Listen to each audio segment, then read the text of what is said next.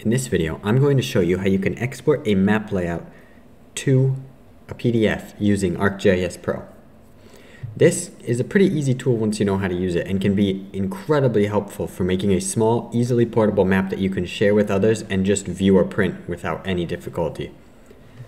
What you're going to need to do is make sure that you have your map open and I'm going to start by taking a bookmark. Uh, this bookmark is what we're going to use to decide the area that's going to show up when we export to PDF. So I've already got a pretty nice little chunk of this map already selected. So what I'm going to do is click here on the bookmarks button and I can go ahead and click new bookmark or manage if you want to edit an existing one. What we're going to do is we're going to click new today.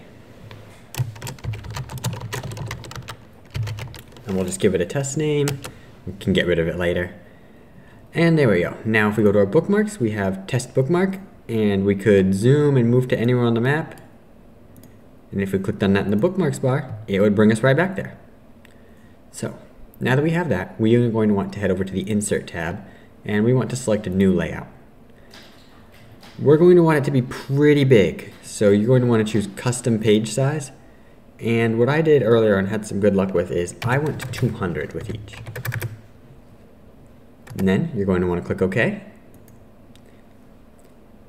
And here we go. Now we have our layout, but there's no map in it. So to get a map in there, we want to head over to the Insert tab, and we can select Map Frame. This will show us a list of all of our bookmarks and the current extent we're at on the map. So we'll just go ahead and click the one I want. And what you do is drag from one corner, it'll snap to the edges so you don't have to worry about being too precise. Down to the other.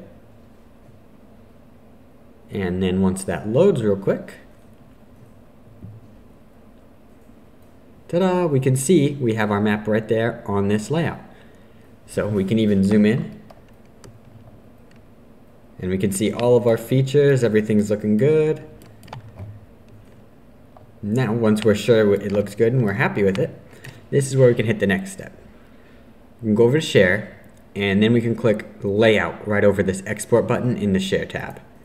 This will open this page where we can choose a few options. Most of these we won't have to deal with too much today, but one th the things you want to make sure are set is you want to make sure that you have it as a PDF and then we can choose where it will download and give it a name. I'm going to keep the defaults for now, but just so you know, you can change it to whatever you want and move it to whatever folder is easiest for you to find it in.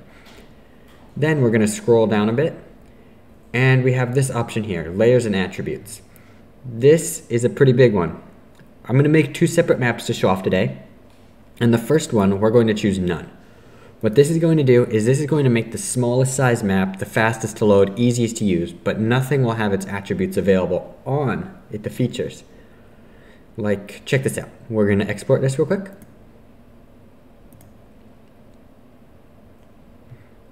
This can take a second, especially if you choose to do it with attributes.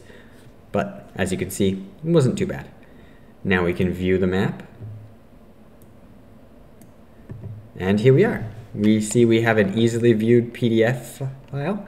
This can be used or opened using any PDF viewer, including Google Chrome or Bing if you want.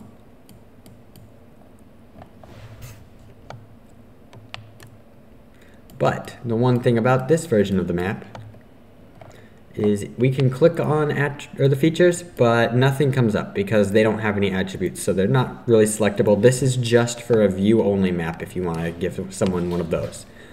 But now, if we take the same map and we choose PDF layers and feature attributes, then we can hit export. And this one's going to take a long time, so I'll probably skip once I finish talking and we can meet here again. But this will have all the attributes for every feature on the map ready for you right on the PDF. So there we go. Now our export has completed so we can view that map as well.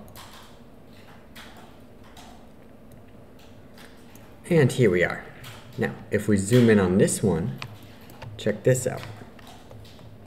Oh, the ones with attributes are a little slower to load than the ones without, which makes sense. It's got a lot more to load. Now, now that we're zoomed in, I'm going to right click and I can select this object data tool. And then what I can do with that open is I can go ahead and click on any of these features And it's, like I said, it's going to take a second. It's figuring out all the features. And here we are. It'll open this window on the bottom left here when we click on one of the features, showing us all of the attributes that we would normally see in ArcGIS Pro. Easy peasy, easy to view. And these are also still very easy to share with others, much easier than sharing a full map package.